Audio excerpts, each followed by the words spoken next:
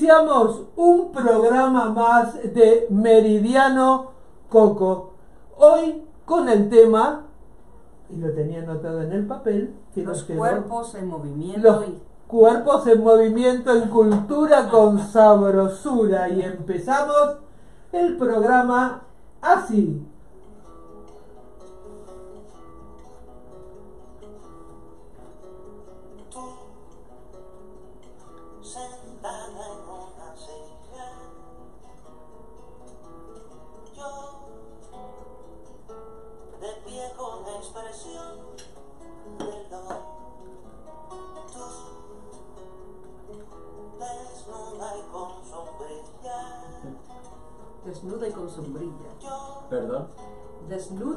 Desnuda y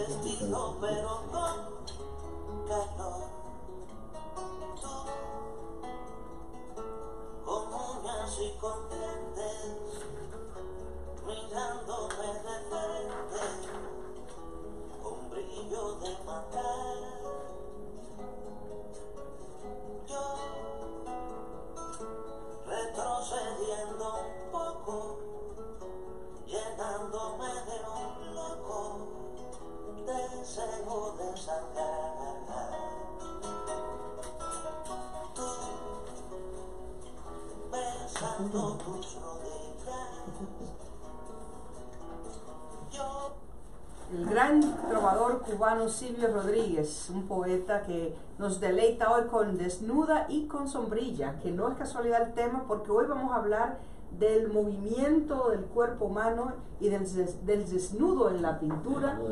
desde la perspectiva, desde la perspectiva y el ojo y la sensibilidad de un pintor que hoy nos visita y tenemos un gran honor de tener a una personalidad de nuestra ciudad tan amada, el señor Juan de Dios Varela, quien inició su formación en el arte comercial en la Universidad Nacional de la Ciudad de México.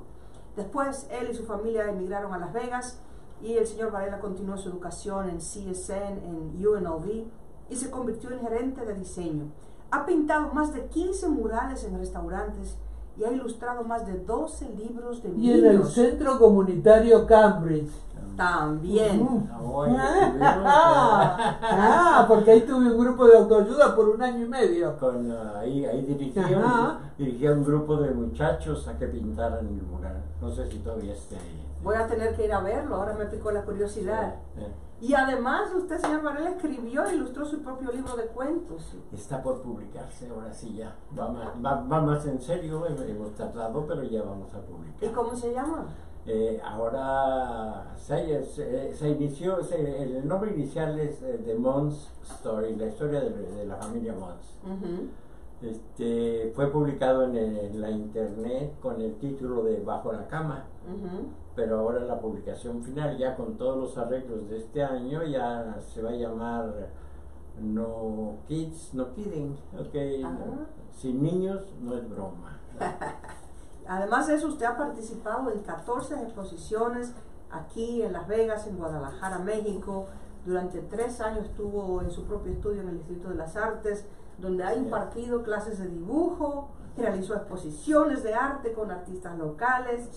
O sea, su obra ha sido premiada y la describen como una mezcla de realidad, fantasía y visiones. Sí, más, más fantasía que otra cosa. ¿no? Sí. Ya, y de pronto se fusionan ambas en el lienzo para que sea el que la mira el que dé la lectura final. El que el, el- el- en el arte así es, o sea, es el, el observador, es parte de, de la obra, sí, lo, lo que ellos dicen, cada quien tiene una historia diferente sobre lo que ve. ¿sí?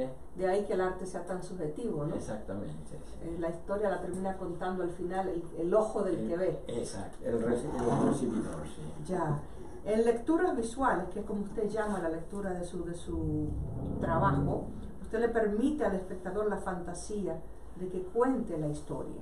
Eso me pareció muy fantástico, realista. Sí, sí, porque eh, no podemos, una vez que terminamos una obra, pues la terminamos nosotros, pero la obra continúa, continúa en las exposiciones y continúa en la cabeza, al- al- continúa a los ojos del espectador. Y la reinterpretación también que le da cada quien a la historia.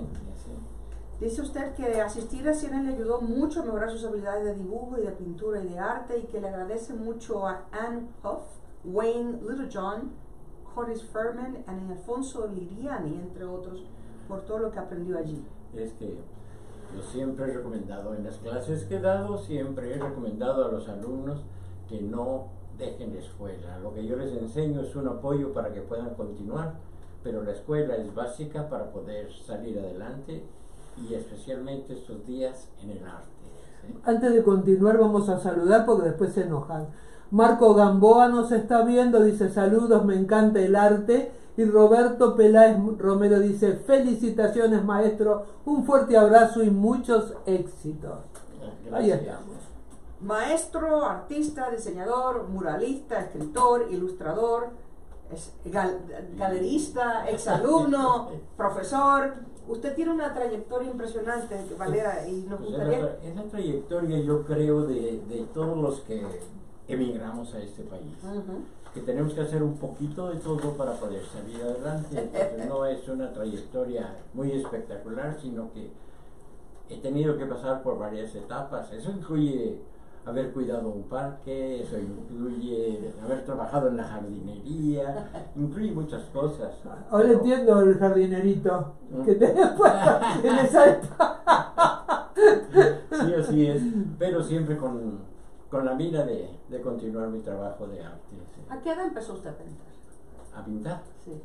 Ah, realmente eh, he dedicado desde que salí de la, de- desde que dejé la escuela porque no salí completo, este, me he dedicado a, a diseñar y a hacer, pues a, a ilustrar libros, a hacer ilustraciones para publicidad, a este, y en todo eso entra el arte.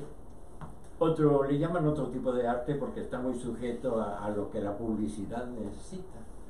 Y ya hacer mi propio trabajo de arte empecé básicamente y definitivamente cuando mis hijos terminaron la universidad. Sí, entonces dije, bueno, ahora Me ahora toca a mí. mí. Ah, qué Sí. bueno. Nunca es tarde si la dicha es buena. Ah, Yo terminé mi maestría a los 50 y pico de años. fíjate. Y estaba compitiendo con niños de 24 que no tenían Sí. que pagar la hipoteca de la casa, ni ir al trabajo, ni, tenía- ni, ni tenían un bebé en casa que me- mi, mi esposa también después de que salieron eh, vino ya su posgrado y todo esto para, para seguir adelante y no me quejo no nos quejamos. La vida ha sido muy bonita siempre. Que es usted un- una inspiración para muchos aquellos que nos están escuchando y que sienten que quizás se les fue el barco porque pasó X edad que en su mente existe como un, un punto delimitador, sí sí, pero que sí, nada más son cárceles que se pone uno, ¿no? Eh, sí, yo me imagino que sí, en, en el caso a mí, nosotros fuimos educados realmente dentro de una libertad, no, no libertinaje, dentro de una libertad de entender lo que estamos haciendo y es, eso es muy bonito. ¿ah? Ya. Yo me quedé enamorada de una obra suya que vi en casa de una amiga en común, Marby Durán, y a raíz de que era un ave, ave fénix desnuda, usted me contó la historia de, de ciertas es, historias que hay con o sin los desnudos. Y eso ha traído a colación el tema de hoy, el El cuerpo en movimiento y los desnudo, sí. desnudos. ¿Por qué es importante este tema? Yo creo que porque hay una confusión entre la palabra desnudo ¿sí? Ujú. y, la, y el arte de la figura humana. Ya. ¿sí? El arte de la figura humana definitivamente es, es arte. ¿sí? Y un desnudo pues puede ser cualquier dibujo que, que hagamos ahí de, de alguna compañera de clase, de, de- de muchas cosas, ¿no? Pero, pero es el, realmente estoy, he estado muy concentrado en el arte y el movimiento de la figura humana. ¿Se pueden pintar personas vestidas sin entender cómo funciona el cuerpo desnudo? es, es bien, es muy buena esa pregunta. ¿no? Sí, yo a- hoy en día yo puedo ver a una persona y decir, imaginarme su cuerpo y dibujarlo en cier- con cierta Precisión. cierta exactitud. ¿sí? Y no necesito, no necesitaría que esa persona estuviera desnuda. Pero lo que sí te puedo decir es que con estas nuevas modas ya no hace falta que ya no hace falta que nadie se desnude. Ahí está el cuerpo, hay que dibujarlo y adelante y con, con el propósito más limpio, más bonito que es el arte. ¿sí? Ya. Cuenta la leyenda que pintores como Da Vinci y otros disecaban, o sea, compraban cadáveres de los, del- de- a los enterradores y a los hospitales pues sí. para poder entender cómo trabajaba la musculatura, los tendones, las articulaciones. En eso consistía su, su grandeza. Yo ahora abro la internet y este, ahorita tengo un curso fabuloso de, de, este, de anatomía para artistas. Puedo ver sin ningún problema cada músculo, estoy dibujando a alguien, puedo entender cómo vienen sus músculos, puedo ver los músculos de la cara.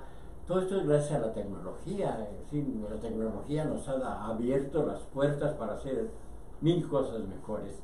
Y por eso mis respetos para todo, toda aquella este, eh, eh, toda aquella camada de artistas que tenían que memorizar todo, sí, tenían que memorizarlo, sí. Saludamos a Gioconda Silva que nos está viendo y a Zaira Hola. Torres que nos está viendo. Zaira. Gracias por estar con nosotros, se lo agradecemos mucho. Vamos a pensar, a mí me, me intriga hablar del cuerpo en movimiento porque usted plasma el movimiento en algo que se va a quedar estático.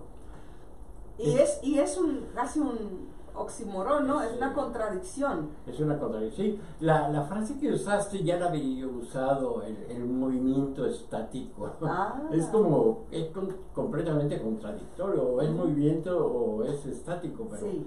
pero en el caso del, del dibujo y del arte lo podemos llamar el movimiento estático. ¿Por qué? Porque hay movimiento de todo, pero el movimiento, el movimiento es básico para todas las artes, ¿sí? Tú escribes poesía, tu poesía yo la he leído y tiene un movimiento bellísimo, sube, baja, conmueve, este, te hace sonreír, te apaga, este, la música no se diga, podemos ver una, una obertura, podemos ver una, una orquesta sinfónica, podemos estar ahí y vemos y subimos con, con- con el movimiento y bajamos con, con toda la producción, es hermosísimo, el movimiento es básico para todas las artes. Ya. Hay movimiento en una novela, hay movimiento en, en- En la pintura. en la pintura, hay movimiento a- a que parece que no en, en la música y en las canciones y en todo. El movimiento es básico para el arte. Nos ha traído unos muy bellos ejemplos de cuerpos en movimiento. Explíquenos para los que somos todavía niños de teta con el asunto de entender las artes plásticas. No, no hay, no hay mucha, este, ¿cómo se llama? Hay- No hay, a- eh, hablar de esa cadencia, ¿no? Sí, es, es la cadencia, o sea, siempre busco la combinación y la soltura de- del trazo con, con el pincel para ver, este, para sentir y para, para transmitir el Ujú. movimiento del cuerpo humano, ¿sí? Ya. Aquí tengo un par de ejemplos de, que tenemos con color. ¿eh? Este, Son bailarines, ¿no? son bailarines, sí, porque mi pasión es el, el bailarín es para mí la persona que más, más nos dice con el movimiento de su cuerpo. Entonces ahí es donde yo he aprendido mucho para, para conocer el cuerpo humano, ¿sí? Entonces, y es lo que hacemos. Y aquí traje un ejemplo más grande, ¿sí? Vamos a Yo poner, vamos a poner esto aquí atrás. Ya. Sí, la fuerza expresiva de los Muy- bailarines, pues a eso, para eso estudian. Para, Para- decir con el cuerpo y no con palabras. para flotar. Yo para mí los, los bailarines flotan definitivamente. Lo que tenemos aquí, ¿sí? Es un ejercicio Mm. de, de movimiento, ¿sí? Movimiento del cuerpo humano en muchas eh, empezó siendo un ejercicio, se fue poniendo junto, fui poniendo una figura aquí, una figura acá de este lado y terminé, terminé haciendo una obra, una obra este, pero el paso importantísimo para mí es el primero, el de ver el movimiento del cuerpo humano y el movimiento de la fluidez, ¿sí? La fluidez que tenemos en un, en un trabajo. ¿sí? Eso es lo principal, eso se decide en, el, en la decisión, en el conocimiento del cuerpo. ¿sí? Y pues me llevo años, eh, años y llevo muchas eh, críticas, llevo muchas cosas, pero, pero ha funcionado, ha funcionado bonito. Y traje este para mostrarles un poco ¿sí? Lo que sucede con una vez que la idea está firme. ¿sí? Muchas personas quieren pintar sin saber dibujar. A ver, a los principiantes y a los aspirantes a ser consumados pintores, Si, si hay un bailarín tiene que aprender ciertas técnicas y un escritor tiene que entender la cadencia interna de, cadencia. de las ¿Qué tiene que aprender un pintor? Pues para mí, principalmente, dibujar. Dibujar. El dibujo. Traigo aquí la herramienta más básica. Un lápiz un lápiz.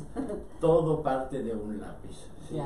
Unos rayones y todo parte de ahí y se va formando y se va creando.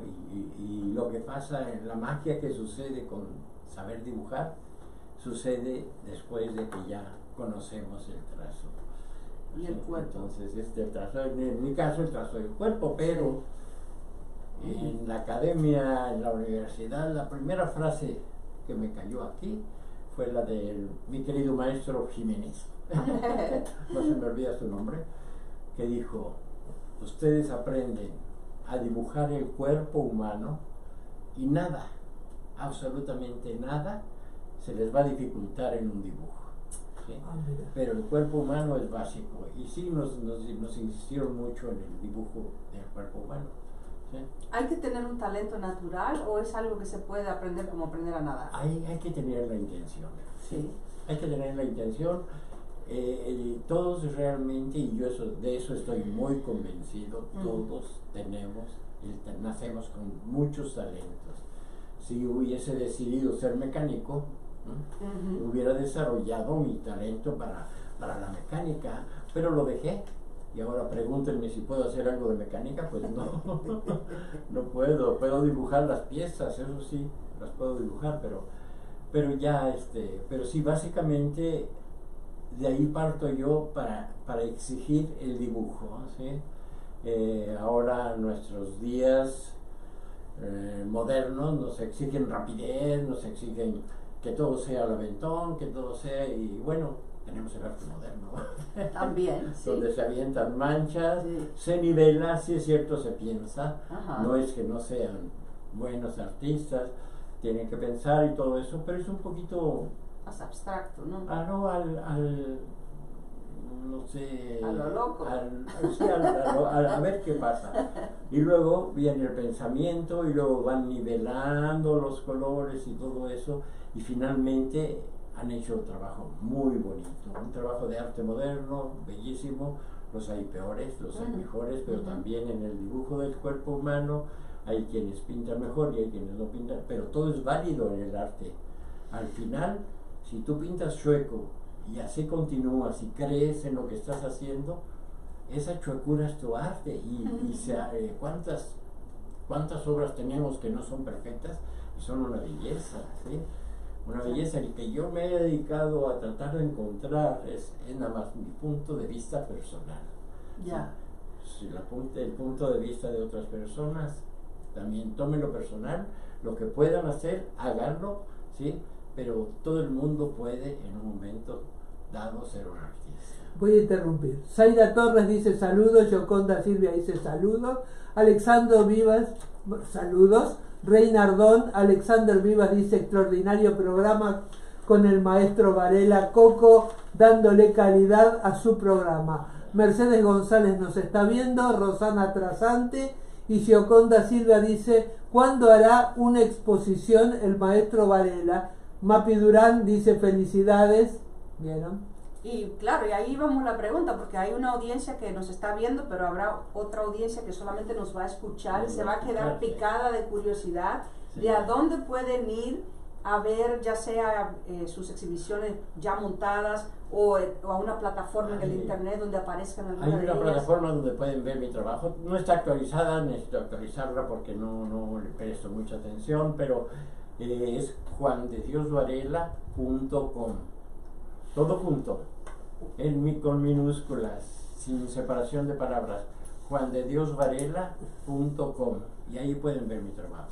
Gracias, gracias. Me dice que andaba hurgando entre todas sus pinturas más recientes y que sacó casi 100 y que me dice anoche, yo creo que estoy listo para mi próxima exposición. ¿Cuándo nos va a dar ese gusto? La tengo. No, no hay, no existe. Eh, precisamente eh, lo más posible es que sea en Guadalajara. ¿sí? Ah, bueno. Este, la exposición ya tiene nombre, se llama La Verdad Desnuda y obviamente es acerca del cuerpo humano. Aquí en Las Vegas eh, tendríamos que hallar el lugar adecuado. No, yo entiendo, por ejemplo, las bibliotecas que se niegan a poner este tipo de arte es por las familias que los visitan. Lo que no entiendo es por qué les tapan los ojos ¿sí? a, a los más pequeños, ¿sí? Y que no, que no eh, nunca van a poder distinguir entre lo que es un, un, dibu- una- un cuerpo en pornografía y un cuerpo en el arte. Claro. O sea, necesitan saber, poco a poco lo entiendo, ¿sí? Pero necesitamos que cuando es arte sea más aceptado. Estoy de acuerdo si, si fuera una cosa que falte al respeto a la gente. Pero si es arte, es arte, punto. ¿sí? Tiene- Le- Les voy a decir una cosa chistosa. Cuando yo era chica, en la casa de mi abuela, viví hasta los seis años, en la casa de mi abuela había un cuadro de una mujer desnuda. Y un día bajé el cuadro y con acuarela le pinté una malla y le arruiné el- y era, era una cosa valiosa. Pero mirá ya la censura que ya traía. la. Después de grande me curé, ¿eh? ya me curé. Pero cuando vos decías de la, de la gente que iba a la biblioteca, ¿por qué? Me acordé de que le arruiné el cuadro. Eh, a mí el que me impresionó fue mi nieto, el más chiquillo, tendría ocho años, y fuimos a ver una exposición de un escultor muy famoso aquí en Las Vegas que trabaja con los artistas del Circo de Soleil, eh, se apellida McDonald, ¿sí? Y este, fuimos a su, a su exposición y fuimos con varias gentes, iba mi, mi pequeño, ¿sí? Y él le dijo a su tío, delante de un cuerpo desnudo, le dijo, mira tío, esto es arte. ¡Qué bello! Ah. ¡Qué bello! Ya tiene esa conciencia, ¿no? Sí, porque en cierta forma, si bien no se les ha empujado, tampoco se les han tapado los ojos. Claro. Y, en estos cuadros que yo hago están a la vista en mi casa, los, mis, mis nietos entran y salen como Pedro por su casa, ¿sí? Ya irán creciendo, ya irán entendiendo mejor el contexto de, de un, del- de- de el desnudo y el arte del cuerpo humano, entonces, este, pues, pero se les da, al menos no se les ponen tapaderas, vamos a decir, sí se les permite y se les explica de buena manera qué es lo que está pasando, ¿sí? Ya, pues mi, mi nieta decía, ya mi abuelo está dibujando otra mamá, Ah, porque para ella el pecho significaba ser madre. ¿sí? Ah, mira, Entonces decía, mi abuelo está dibujando otra mamá. Y es que antes de que a los niños los adoctrinen con todos los tabúes sociales y religiosos, pues son puros y no, no ven malicia, no ven maldad las cosas. Exactamente. Eso es un agua que la vamos enturbiando los adultos de su vida más tarde. Sí, sí no, eh, nosotros mismos nos vamos, nos vamos creando, creando este, tapucos, cosas Ujú. así, ¿ok? Entonces, pues por ahí viene todo y, y, y afortunadamente en la familia, en la casa se ha apoyado mucho mi trabajo, este, no faltan las bromas, obviamente, no falta esto, no falta lo otro, pero, pero el apoyo es sincero, toda, toda mi familia, incluyendo mis nietos que ahora ya ya están bien grandes, pues todos vieron mi trabajo desde muy chicos, el cuadro que mencionaste, es un cuadro que muestra el desnudo de frente y no ha tenido cabida en ni una sola exposición aquí en Las Vegas. Eh, entiendo, lo, lo- entiendo lo que ellos quieren, quieren mantener una, una imagen limpia, perfecta para, para las familias, ¿sí? Entonces, Creo que el proyecto de Downtown y el Art District está abriendo, haciendo más apertura Ah, a todo este tema, porque eh, hace unos meses estuve ahí para un First Friday y era el, el mes de la parada gay, de, se llama Pride, sí, y habían hecho una exposición específicamente sobre eh, eh, dos chicos, dos chicas y todo ese, todo ese tema, muy explícita, muy hermosa la exposición y completamente, digamos, al aire libre. libre, pero si lo notas, eh, es ahí las familias no van. No, es muy adulto el es muy adulto y, Sí, sí. y, pues estamos de acuerdo. O Sí. sea, el adulto tiene que tener un criterio más amplio, si no, pues que se vaya con los niños. Ah, vamos a pasar a un poema de Pablo Neruda, que Perfecto. también celebró la mujer desnuda, como una pequeña, digamos, intermission, Ok. una pausa y regresamos con usted. ¿Qué le parece? Me parece perfecto, gracias. Dice el gran poeta Neruda, desnuda eres tan simple como una de tus manos. lisa, terrestre, mínima, redonda, transparente. Tienes líneas de luna, caminos de manzana. Desnuda eres delgada como el trigo desnudo. Desnuda eres azul como la noche en Cuba. Tienes enredaderas y estrellas en el pelo. Desnuda eres, desnuda eres redonda y amarilla como el verano en una iglesia de oro. Desnuda eres pequeña como una de tus uñas, curva, sutil, rosada hasta que nace el día y te metes en el subterráneo del mundo. Como en un lago, como en un largo túnel de trajes y tra- trabajos, tu claridad se apaga, se viste, se deshoja y otra vez vuelve a ser mano desnuda. Qué belleza. Qué belleza, Pero qué belleza. puedes percibir también el movimiento de la poesía y nuevamente la palabra des- desnuda, ¿sí? Ajá. Este poema de hecho salió en la película El cartero, El cartero de... con- que era que es contando la historia de Neruda cuando estuvo en el exilio y era este chico que te, te traía las cartas y se había enamorado de una chica del pueblo y le pedía a Neruda que les- le ayudara a escribirle a la chica para conquistarla. La madre de la chica se topa con este poema y da por sentado que se están acostando el cartero con la hija y se arma un escándalo. Buenísima la película si no la han visto, vale la No la pena. vi, no la No, vi. yo tampoco lo he visto. El cartero de Neruda. Ah, mira, Sí, es ya... hay que buscarla en YouTube, seguro. Sí, debe tener sus ya 20 años que salió algo Ah, por el estilo. Aparte del cuerpo desnudo, usted tiene otros temas también, porque lo he visto hacer caricaturas muy cómicas. Estamos, eh, eh, hemos hecho caricaturas para el periódico, hemos, eh, la, la ilustración de libros infantiles es una belleza, a mí Mm. me encanta. Trabajo mucho para, para los niños, ¿eh? El- el- la imaginación es increíble y el problema con los niños es que la escritura es para ellos y los dibujos son para ellos. Tengo que tratar de entender la imaginación de los niños y hoy en día es un poco más complicado, ¿sí? Para poder ilustrar. Me ha gustado mucho e- ese tema y este y he estado haciendo, llevo ya como ya ilustré yo creo que más de 14 libros, cuando menos 4 o 5 han sido publicados. El mío ya está también casi en puerta, estamos, estamos casi definiendo todo. ¿eh? Y este, y ya vamos para allá. Y es- Juan, ¿vos no, no hiciste también dibujos para Ana Barbera? Ah, fue en mi época cuando estaba recién casado, necesitábamos casa, necesitábamos todo y afortunadamente, digo, afortunadamente, todo lo mío ha sido alrededor de algo que tiene que ver con creatividad.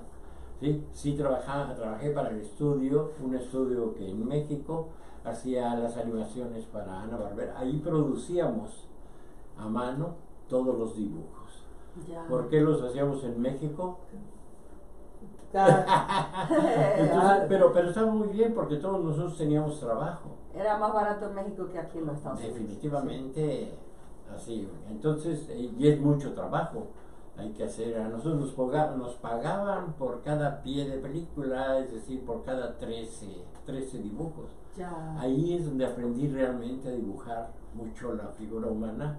¿Por qué? Porque este, estábamos haciendo Batman, los primeros de Batman, los Mm. primeros de La Mujer Maravilla. Mm. Trabajamos en todo eso, entonces la línea nuestra tenía que ser muy limpia para que después de hacer el dibujo en azul, Ujú. pasaba a los que hacían los acetatos, que eran increíbles dibujando con tinta todo eso y luego dándole color y luego el movimiento, todo eso me tocó ya, para que vean qué viejito estoy. este. Pero qué, qué manera Antes que de... nada, saludemos a Delmira Pineda, a Sofía Gallardo Díaz, a Reina Ardón que dice hola a todos, gracias, a, a Ara- Araceli Vera que nos está viendo, y a Migrantes Hispanos que nos está viendo, y a Mapi Durán dice también ilustró Caminito de Letras, un método educativo honrado por la ONU. Ah, te olvidaste de Ah, esto, se ¿eh? le Hace olvidó decirnos. sí, gracias Mapi por recordarme.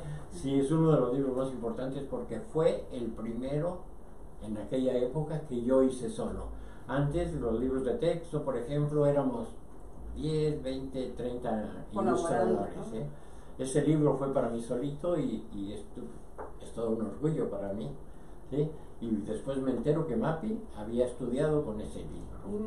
Ah, Imagínese, mira. qué belleza. Mira qué Me increíble. quedó la curiosidad. Usted dijo, pintar para los niños de ahora no es lo mismo de- que antes. ¿A qué Ah. se refiere usted con eso? A la imaginación, Ah, a que está completamente diferente. Mm. Obviamente tenemos los medios de comunicación que instruyen, que son los que instruyen, digo, no, no, no nos neguemos, ¿eh? Son los que instruyen la, la mente de los niños aparte de la familia. Entonces ellos ahorita tienen todo lo que es de los dibujos japoneses, las películas, los libros japoneses, todo lo que es todo lo que manejan, ¿sí? Entonces ahorita tratar de ilustrar un libro para niños es así como que y esos dibujos que Ya. Yo Sí. estuve enseñando en una época en una escuela intermedia solo para niñas y curiosamente hice un ejercicio para ver qué cosas le interesaban a, los- a las niñas de 11, 12, de 11, tre- 13 años. Y el, el- el manga y toda la cultura del anime japonés es un, está arrasando. arrasando con todo y Sí. yo he perdido trabajos, ¿por qué? Pues porque ya no, ya no, yo no entro en manga, realmente ya no, no es que no me interese. Es que yo ya traigo otra visión, traigo otras cosas que hacer y como que ponerme ahorita a... Aparte los temas que manejan ya son temas completamente diferentes a los que... a las fábulas que nos manejábamos, que, que por cierto pues tenían sus cosas buenas y malas, ¿no? Pero era lo que se manejaba entonces, con eso nos educaban, aprendimos de las fábulas de Esopo, aprendimos de los hermanos Grimm, aprendimos de, de todo ello y este, y pues eh, ya me ha tocado hacer algunas ilustraciones, pero necesita, es muy, hoy en día es muy difícil entrar a la imaginación de los, de los niños, aunque no imposible. Simple sencillamente, pues yo hago lo que tengo que hacer, ¿sí? Ya. Eso es, eh, le llamo yo hacer la historia detrás de la historia hay una historia escrita y hay una historia que vamos a leer, volvemos al punto que todos los lectores, tú te vas a imaginar una cosa, Claro. tú te vas a imaginar una cosa y yo otra. ¿Cómo le hace un ilustrador para hacer una, para ilustrar una historia y que los niños los acepten? Eso es un, es un reto fantástico, muy bonito, ¿sí? Entonces, por ahí van las cosas, ¿sí? Como han cambiado, cambiado los tiempos. Como no, completamente. ¿sí? como Sí. si hubiéramos entrado en otra tierra. Yo recuerdo una vez haber estado de visita para contar algo cómico. Y aquí se contará a Mónica y su historia de que le pintó la malla el cuadro de la abuelita. Estaba de visita, estaba de visita en una casa y de pronto el techo de la casa era como de esos como de oficina donde le ponían unos cuadrados como de yeso, ¿no? Y, Y que se, se se movían. ponían y se quitaban. y Sí, se ponían y se quitaban, como un falso techo, ¿no? Sí. Y bueno, estoy usando el baño y miro hacia arriba y veo que el cuadrado está desnivelado. Y a mí no me gustan los cuadros desnivelados ni nada desnivelado. Tengo como Ay, parece mi marido. Oh, yo tengo- tocarlo, los acomodo. Una obsesión. con eso. Entonces me subo en la tapa del inodoro para cuadrar el, el cuadrito y se cae al piso un montón de ilustraciones en blanco y negro y que en la portada presentaban a Lorenzo y a Pepita y al hombre araña y al hombre y a Superman y a Aquaman y todo. Wow. Abro el libro, pues con razón estaba en el plataforma de encima del baño, era todo pornografía. Todo pornografía ilustrada. Yo me, yo me quedé de, imagínate, tendría quizás nueve o diez años, estaba pequeñita y yo no sabía ni qué. Yo temblaba y decía, ay Dios mío, si me agarran con esto en la mano me matan. Así que Iban a, lo- iban a decir que yo lo hice. Ey, no, volví, lo metí ahí, dejé el techo como lo encontré y me hice la que nunca lo vi. Y a partir de ahí no tocaste más nada de ningún lado. no en esa casa por lo menos. Y, y hoy, hoy en día eso debe valer una fortuna, ¿sí? Debe valer una fortuna porque es- son inicios, son inicios de algo prohibido. ¿sí? Claro. No, a mí me dio un choque que eso, te digo que tenía nueve años y todavía me acuerdo del momento en que pasó. Sí. Y, y luego, eh, estudiando un poquito más el- lo que es la ilustración, encontré autores como John of Finland, que no sé si lo conocerás, que cuando, estoy hablando a mediados de 1900 por allá, ya estaba haciendo ilustraciones al carbón blanco y negro eh, sobre un tema prohibido que era el amor entre, entre hombres. Wow. Y sus pinturas ya son, o sea, son ilustraciones, como tú dices, de museo. Se han Ahora- quedado ahora como... vemos, ahora vemos, eh, no, no creo traer ninguna, pero ahora vemos vemos muy normal el abrazo entre mujeres, el- los hombres, este con ellos dos, Ajá. este se llama el beso. Ah, a- vamos a ver. Vamos a ver. Descubramos el Esto fue, esto fue el inicio y veamos qué es lo que sucede cuando tienes un buen traje.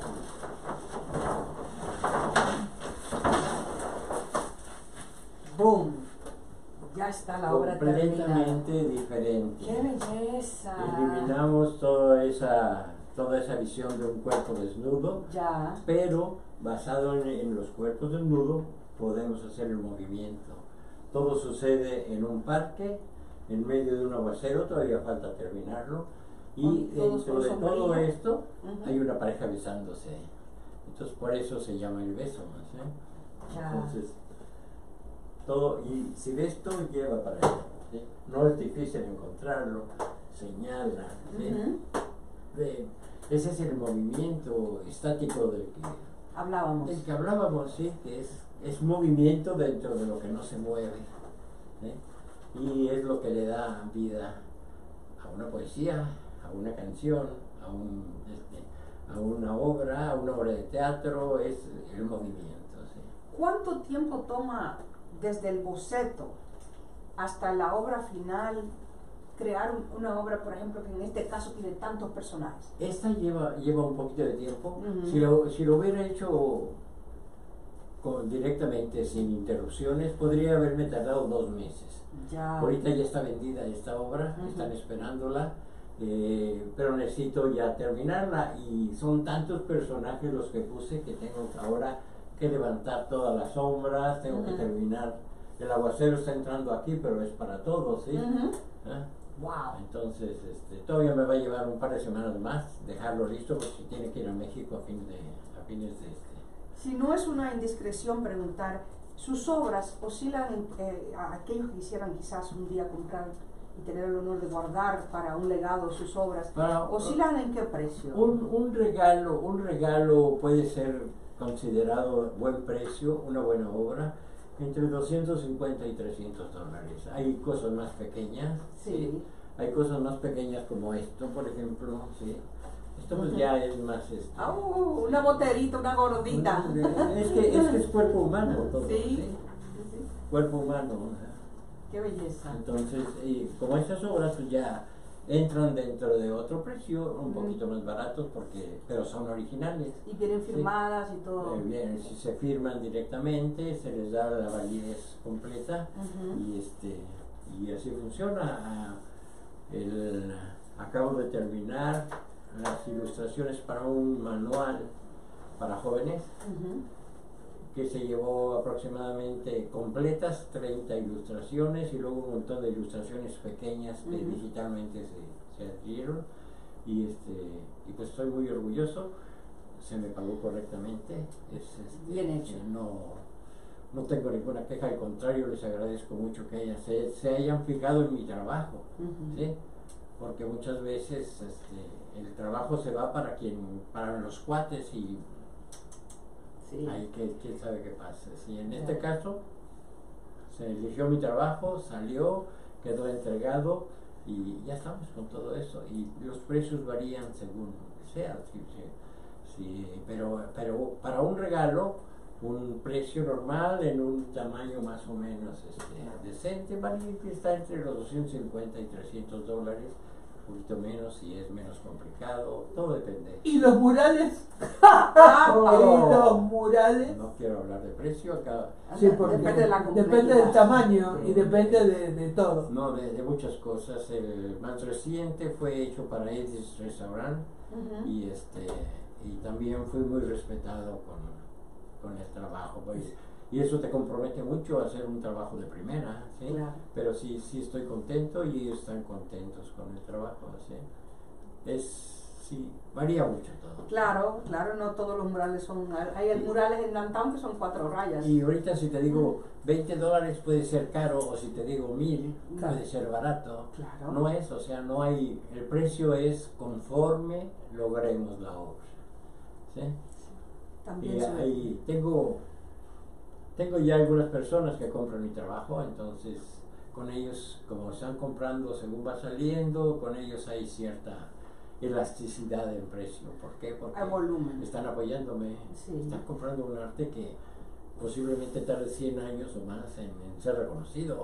No, ya usted tiene un nombre. Antes que Sofía Gallardo Díaz dice, hola, gusto de saludarlos. Zaira Torres dice, el maestro Juan de Varela nos puede deleitar con una de sus obras en unas pocas horas mientras disfruta un café en el grupo literario Comala. Un placer verlo trabajar, dice. Ah, gracias.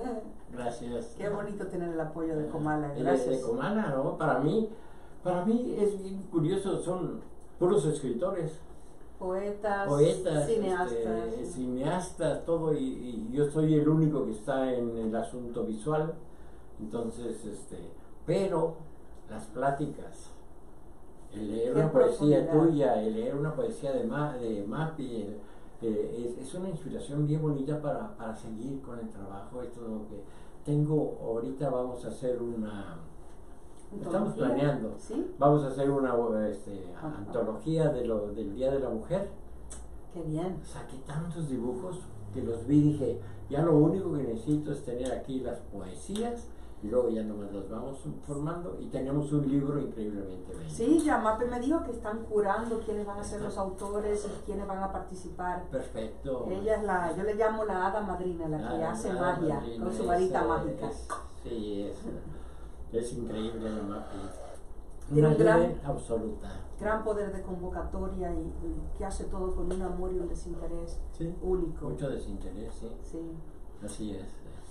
Señor Varela, cuando su libro salga, va a estar en Amazon, ¿Dó- ¿dónde va- se puede comprar? ¿Cuánto costará? Va a ser eh, ¿Va a haber un evento de circulación para poder... Bueno, hay, eh, en- hay dos libros. Uno es un compendio de todas las caricaturas que salieron en el periódico local, en el Review Journal. Ujú. ¿sí?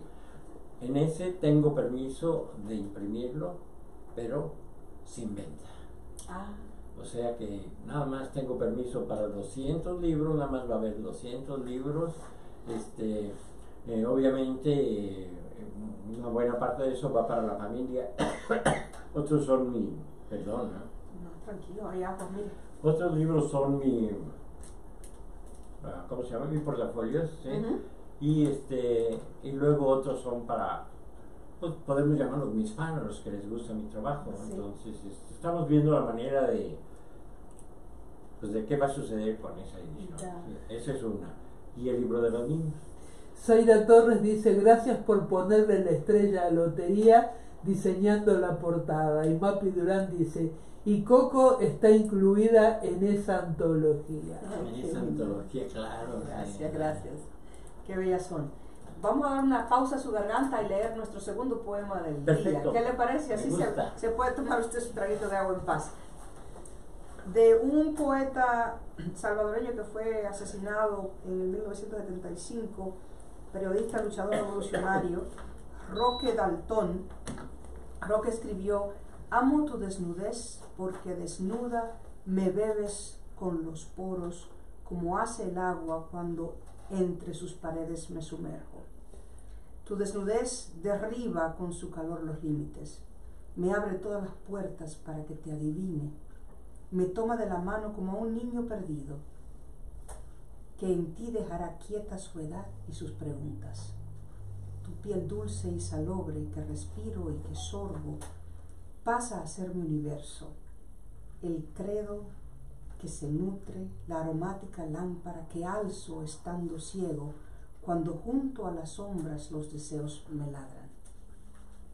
Cuando te me desnudas con los ojos cerrados, cabes en una copa vecina de mi lengua, cabes entre mis manos como el pan necesario, cabes bajo mi cuerpo más cabal que su sombra. El día en que te mueras, te enterraré desnuda para que limpio sea tu reparto en la tierra, para poder besarte la piel en los caminos, trenzarte en cada río los cabellos dispersos. El día en que te mueras te enterraré desnuda, como cuando naciste de nuevo entre mis piernas. Muy Qué belleza, qué belleza. Lo Acá, lo acabo de acá Mapi descubrir. Durán, ¿eh? Lo acabo de descubrir este poeta. Qué maravilla. Sí. Mapi Durán dice, Mónica Capano Roca, Hervillena, Juan de Varela, qué programazo, éxito absoluto a los tres. Gracias, Mapi. Gracias, gracias, Mapi. Gracias, Mapi. Ya. ¿Qué, qué no cubrimos? ¿Qué, es- qué faltó por decir? Eh, eh, el tema de dónde saco mis temas, por ejemplo, Vamos. este, voy a darme 15 segundos para traer una obra que traje para hablar del tema. Este sí es una obra con- de, de- también desnudos, pero es muy importante. Por favor, por favor, tómese su tiempo. ¿Cuál fue tu primer desnudo que viste, Mónica? ¿En Eh, un ese, museo? ¿En tu ese, ese, ese, en el cuadro de mi abuelita. Yo, no, yo debía tener cuatro ahí, pero mi abuela era muy represora. Mm, No sé de quién era ese cuadrito, pero estaba firmado y todo, y lo arruiné. híjoles. Lo arruiné, pero eh, bueno, después vi, bueno, desnudos como los de Miguel Ángel, como los de... No, y que si caminas por ciertas ciudades europeas, más que nada, es muy Bueno, normalito, ¿eh? Pero lógico que es Eh, normal. El, el tabú creo que está más, más fuerte de este lado del, del, del charco que del otro lado. Y siempre en la comunidad, en la comunidad eh, latinoamericana, la represión es más grande. Con la religión y la moral. Ah, sí, exacto, todo eso. exacto. Wow. Este, este cuadro es muy bonito, es muy bonito, pero tiene una implicación muy importante porque eh, se llama reencuentro. Mm, Cuando sucedió todo lo, de la, lo del COVID, ujú. no nos dejaban ni tocarnos, o sea, era, era todo de- a, a distancia, no podíamos ver a nuestros nietos, a nuestros, eh, y, y tampoco a nuestra pareja o amores o lo que sea.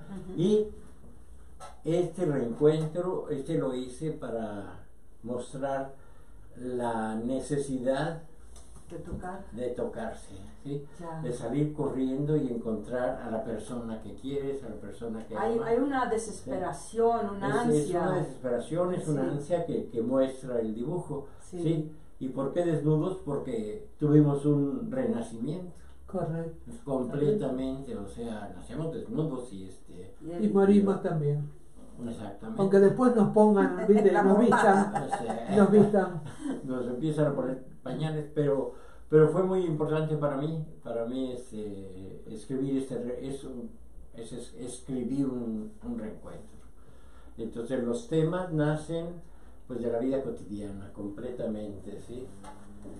Creo que con el COVID a todos, como que nosotros dábamos por sentado Sí. el que íbamos a poder vernos, tocarnos, reunirnos, y, no- y a veces nos pasábamos de, de vernos y de reunirnos y de abrazarnos. Y de ver a, tu- ver a tus hijos así en la distancia o por teléfono, ¿no? Es- fue, fue muy duro. Fue un Fue muy golpe. duro. Yo recuerdo que ya, ya cuando nos dejaron salir, ah, tenía yo una exposición en Guadalajara. Una exposición hecha con puros dibujos hechos durante el, el- el encierro.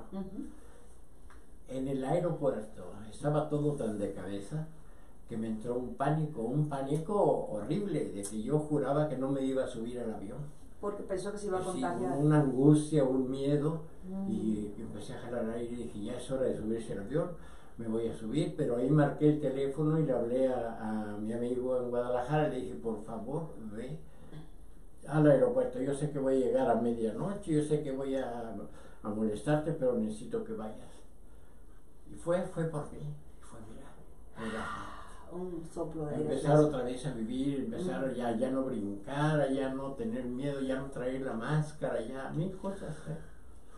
Qué fuerte, ¿eh? Fue muy Qué fuerte. fuerte Fue esto, ¿eh? fuerte. Qué fuerte esto. Ajá. Cuando anunciaron que todavía no habían puesto todas esas restricciones de que no se puede reunir más de tanta gente, que hay que poner máscaras, que cerraron las escuelas, cuando hicieron el anuncio, eh, yo recuerdo, yo vivo cerca del downtown, llamar a una amiga y decirle, Me muero por ver todos los murales del downtown, pero siempre está el problema del estacionamiento, está el problema de que pues no te atreves a andar por el downtown, por Sí. meterte por todos esos callejones, porque a veces te encuentras con, con cierto elemento que no te quieres encontrar. Y dije, ¿qué te parece ahora que está muerto el downtown lleno de policías si nos montamos en una bici y vamos, y vamos al downtown a ver todos los murales? No había un alma en la calle, más que los dos o tres policías en cada esquina, y fue alucinante porque era, era estático, el tiempo parecía así como congelado, no había un, un ruidito, un carro, un, no nadie entrando ni saliendo de un edificio, y fue uno de los paseos más bellos de mi vida. Sí, lo haría de nuevo, pero Yo no, en to- yo creo que circunstancias a tan todos nos fatales. cambió, a todos nos, nos, nos tocó algo. Sí, adentro, adentro, ¿sí? Y este, y de ahí, de ahí hice yo un, hice un cuadro muy bonito que me encantó a mí. En un parque, otro grupo de gente, bailarinas, como, como en este caso, pero todas con la máscara puesta. Y este, pues yo dije, no, pues no se va a vender, sí. Pero a, a la esposa de mi hijo, a mi nuera, le gustó mucho y dice, vamos a, poner este cuadro en la casa. Y mi hijo se negaba, como que le tenía miedo, como que, no, es que mira lo que nos recuerda. Pero una vez que estuvo enmarcado y puesto en la pared, es, para a mí me fascinó, es una belleza de cuadro donde a pesar de que estuvimos enmascarados y todo eso, la gente estaba conviviendo en un parque, estaban platicando, viéndose, bailando, haciendo cosas, o sea, no importa cuánto nos cuánto tiempo, cuánto nos cubran, ¿sí? Cuánto nos eh, Quieran quieran, nos aislar. escondan. ujú. Siempre yo creo que como humanos vamos a tener esa necesidad de estar en contacto con los demás. Y es bien bonito. Y ese cuadro me puso muy orgulloso verlo en la casa de, de mi hijo.